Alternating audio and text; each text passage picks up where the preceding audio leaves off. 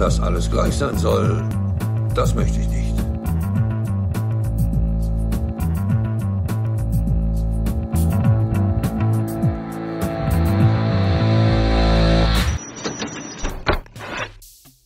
Hallo Internet, es ist wieder soweit. Der Gleichsatzkanal hat wieder Kosten nach Mühen gescheut, um hier die 28. Folge der philosophischen Trilogie Abstraktionen, Nominalismus, äh, Sprachkritik zu präsentieren.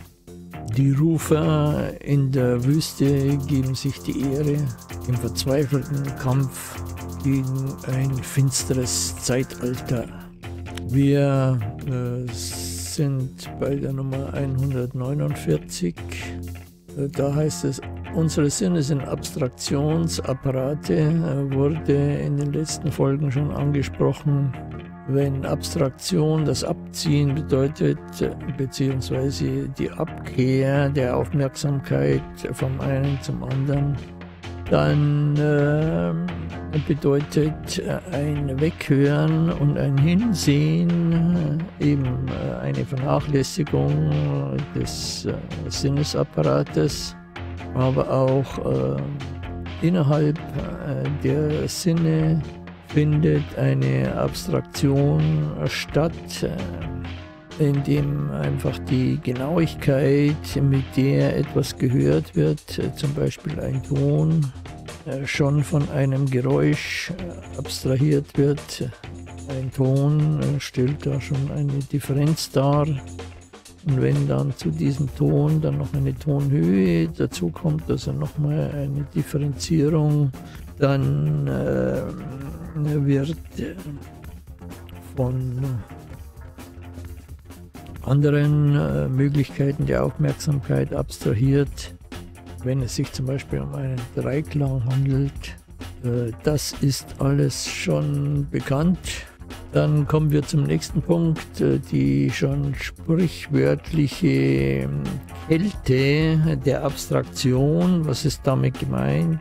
Die das Blau der Abstraktionen, äh, die Abgehobenheit in den äh, Himmel äh, bloß idealer Begriffe und auch die Kälte der bloß logischen Überlegung ohne irgendeine Empathie äh, irgendwelchen beteiligten Akteuren gegenüber.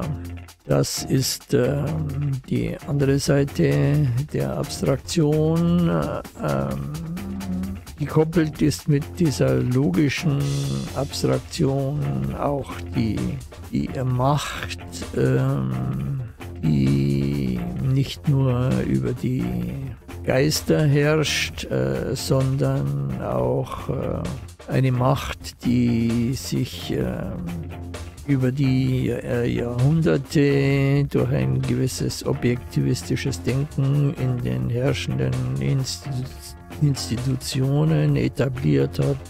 Äh, Bürokratismus äh, ist ein anderes Stichwort wo nach statistischen Vorgaben Vorschriften zu befolgen sind und innerhalb äh, der Breite des Spektrums äh, dieser Vorschriften ist dann, äh, ist dann äh, sind dann Gebote oder Verbote zu befolgen und äh, alles, was sich in diese äh, Vorschriftenstruktur nicht eingliedert, äh, wird dann als äh, äh, Fremdkörper betrachtet äh, und, und an, die, an, den Rand gedrängt, wenn es keine größeren Auswirkungen hat. Aber sowas kann auch bis zur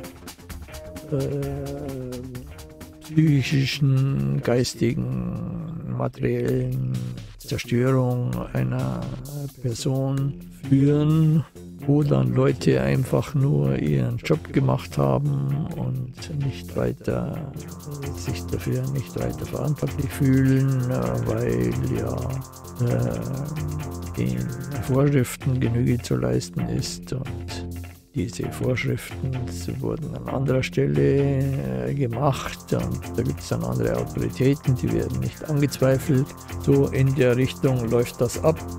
Es werden im Grunde genommen äh, äh, reine Gedankenkonstrukte äh, äh, mit der Realität identifiziert. ist gerade die öffentliche Diskussion, äh, dass sich äh, Politiker, dass Politiker in einer sogenannten Blase leben und mit den, den Realitäten keinen Kontakt mehr haben, mit den eigentlichen äh, Bedürfnissen, Problemen der Bevölkerung und sich im Grunde genommen aus dieser Bevölkerung heraus abstrahiert haben und da ein abgehobenes äh, Dasein, Politikerdasein führen mit eigenen Interessen, mit eigenen Zeitabläufen, eigenen Bedürfnissen, nach denen dann auch die Empfindungswelt und auch die Gedanken, die Vorstellungswelt dieser Leute entsprechend äh, sich von dem der Masse der Bevölkerung dann äh, nicht mehr vergleichbar ist. Besonders wenn diese Leute dann über Jahrzehnte hin gewählt werden. Ähm, ich komme zum nächsten Punkt.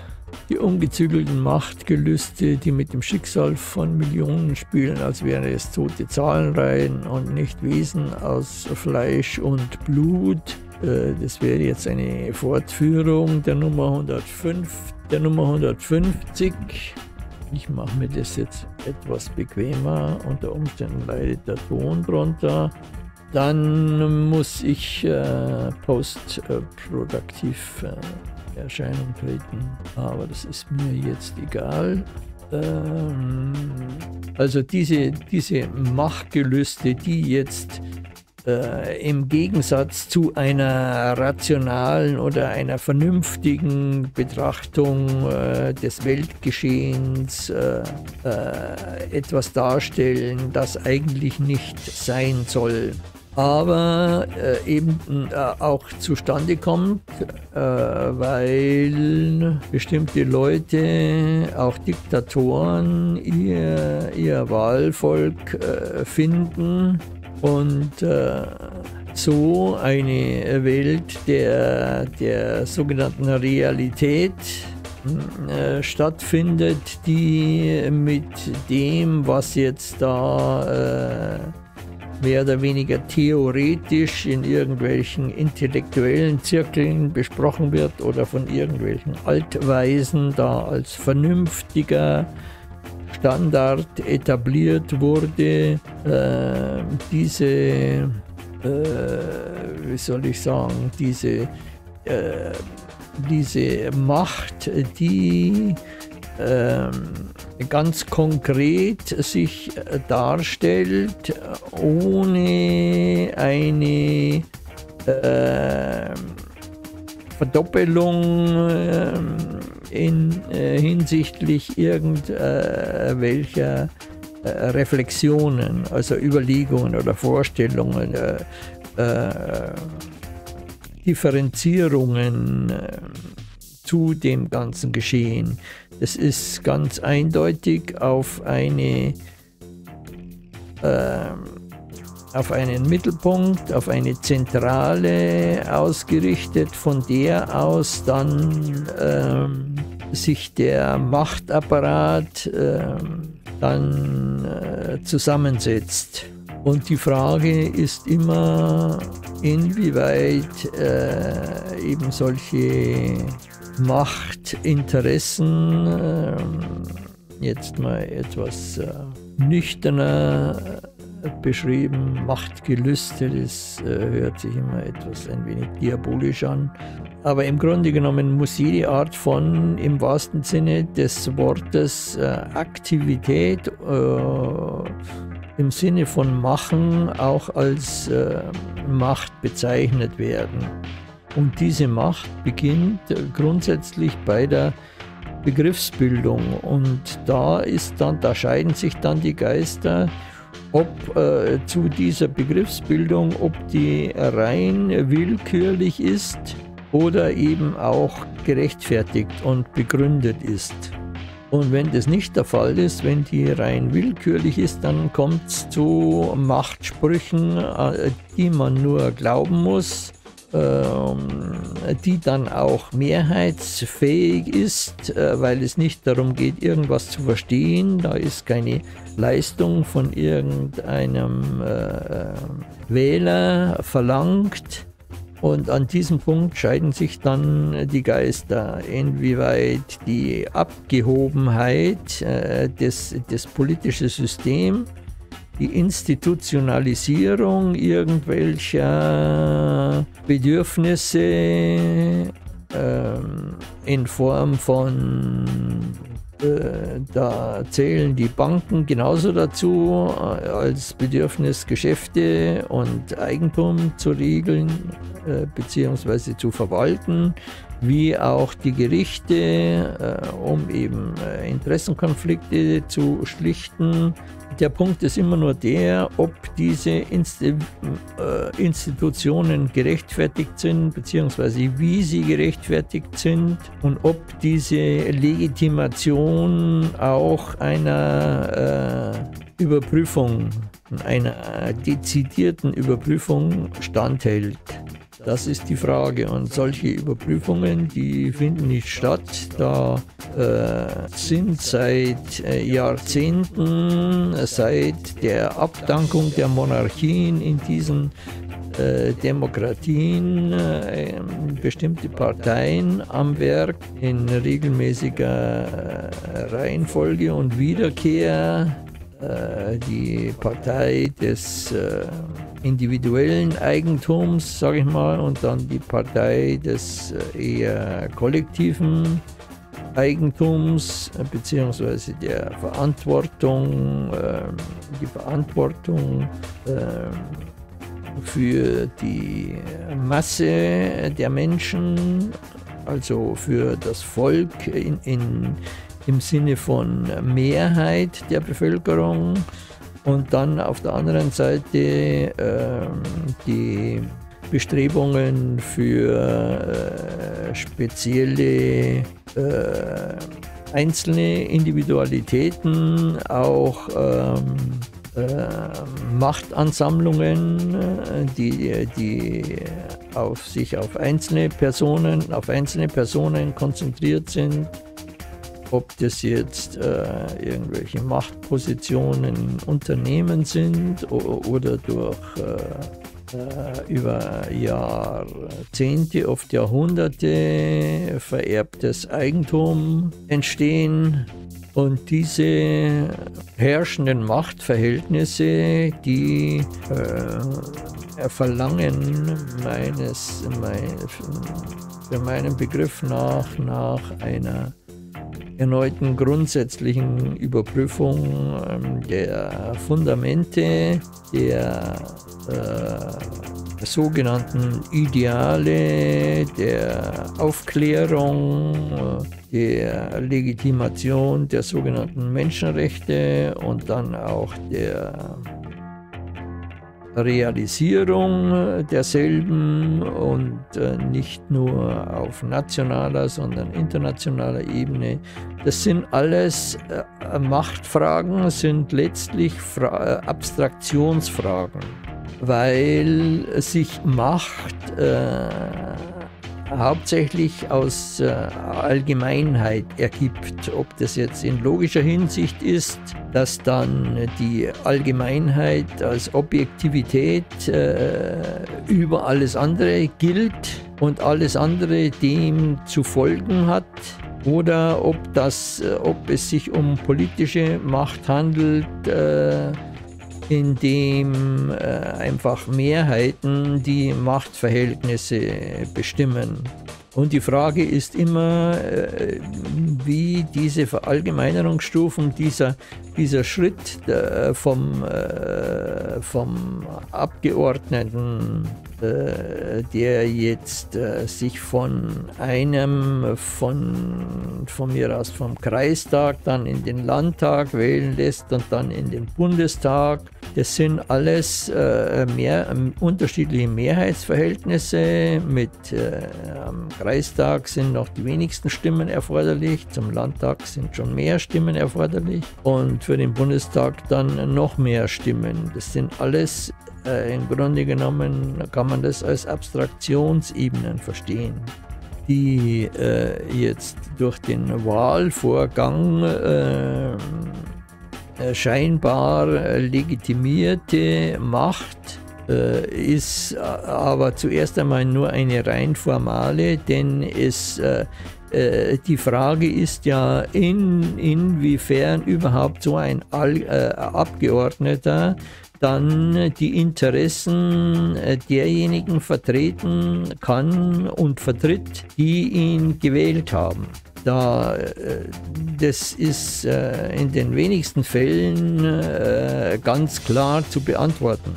In den meisten Fällen ist es eher so, dass so eine Stimmung dann entsteht oder ähm, man so ein Gefühl hat, dass so Tendenzen dann mehr nach rechts oder links äh, äh, sich bewegen äh, und jetzt äh, im, im Fall jetzt äh, AfD oder überhaupt äh, sogar europaweit, möglicherweise sogar weltweit kann dann von ähm, Tendenzen nach rechts oder zu, zu Autokratie.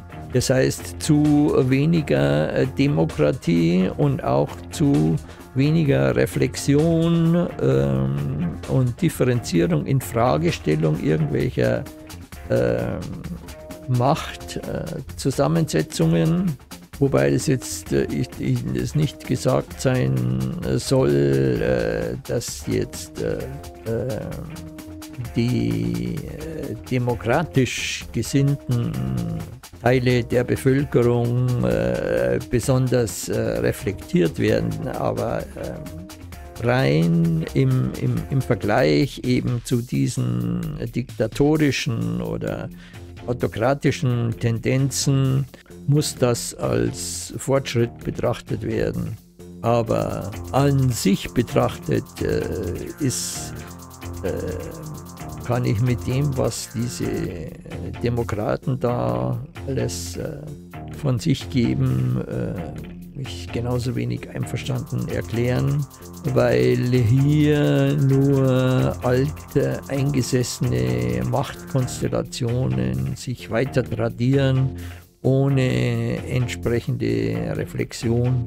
Und da gibt es gar, gar keinen Unterschied äh, zu jetzt, äh, wenn man meinen wollte, dass jetzt gerade in Deutschland die Grünen seit äh, nunmehr über 40 Jahren da eine Veränderung äh, gebracht hätten, dann äh, ist, äh, muss man nur äh, Joschka Fischer zuhören, um zu begreifen, dass das nicht der Fall ist, dass die Grünen nur eine, eine Freistelle im alten System besetzen, aber sich in keinster Weise von allen anderen Parteien unterscheiden in ihrem Machtgebaren oder in ihrer Art und Weise, um die Stimmen des Wahlvolks zu buhlen sind vielleicht weniger Krawattenträger äh, darunter, aber äh, das allein macht noch keine bessere oder andere Politik. Äh, davon abgesehen äh, will ich jetzt gern zum nächsten Punkt übergehen. Hier sind wir immer noch in dieser Kälte der Statistik der toten Zahlenreihen und ein Paradebeispiel für diese, diese Art von Mechanismus ist äh, der, der Vernichtungsablauf in den Konzentrationslagern. Es wurde wie, wie in, in einer, wie am Fließband, äh, wie in einer gut funktionierenden Fabrik wurden da, wurde da aus äh, menschlichen Wesen äh, Lampenschirme und Seifen äh, produziert, ohne irgendeine eine Reflexion über die ethischen Momente an der ganzen Geschichte da. Er konnte ganz locker weg äh, davon weg abstrahiert werden, indem ähm, man einfach äh, irgendeiner Propaganda in Bezug auf äh, Vorurteile auf eine bestimmte Bevölkerungsgruppe. Dieses, äh, dieses Beispiel ist, äh, ist maßgebend für zig folgende Generationen. Es kann gar nicht äh, die, die Umsetzung äh, dessen, was, was daraus zu lernen ist, die ist ja äh, seit dem, äh, seit dem Kriegsende des Zweiten Welt, sogenannten Zweiten Weltkrieges 1945 ist äh, so gut wie äh, gar nicht geschehen. Und das war auch äh, zum Großteil der Grund dafür, äh, für die äh, Studentenrevolte in den 1960er, 70er Jahren, weil äh, es einfach zu krass war, äh, wie über diesen Wahnsinn der NS-Zeit da hinweggegangen wurde. Und es ist auch heute noch so, äh, dass äh, die, die Fabrikmentalität und die Arbeitsplatzmentalität immer noch äh, sehr viel Geschehen in diesem Land bestimmt. Und es ist diese, das ist dieselbe Mentalität, die auch Auschwitz, Auschwitz zustande gebracht hat oder überhaupt Hitler zustande gebracht hat. Dieser unreflektierte Materialismus, äh, wo äh, jemand aus dem Recht, äh, sich äh, sein eigenes Leben zu sichern, glaubt, äh, ohne irgendeine Reflexion äh, einem Führer nachlaufen zu dürfen oder zu können und äh, sich einer Autorität zu fügen, ohne äh, dieses Geschehen zu reflektieren. Und davon äh, gibt es heute auch noch äh, genug und nöcher. Dieser Faschismus äh, ist heute äh, noch äh, mit wenigen Ausnahmen ist äh, strukturell verankert in den, in den ganzen äh, Institutionen. Es muss heute nur der, der richtige Typ mit dem richtigen Charisma kommen und schon ist äh, wieder Tür und Tor für alle möglichen äh, Gräuel äh, geöffnet.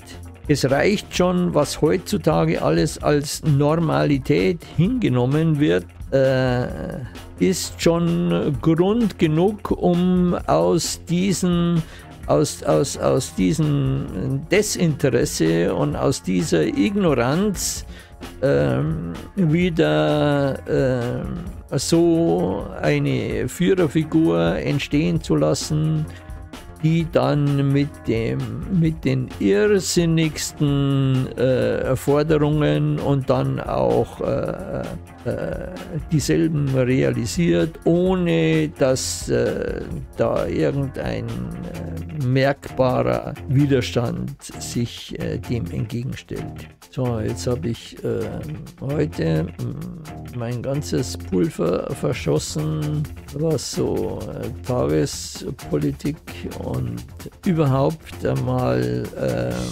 ein, äh, das, den Bezug herzustellen ähm, zu der Abstraktion, zu, zu, zu der alltäglichen Abstraktion, mit der Leute jeden Tag alles Mögliche von allem Möglichen abstrahieren, das heißt alles Mögliche ignorieren und sich äh, nur auf, ihren, auf ihr Klein-Klein konzentrieren und ihr eigentliches äh, Menschsein äh, für einen Judaslohn verkaufen.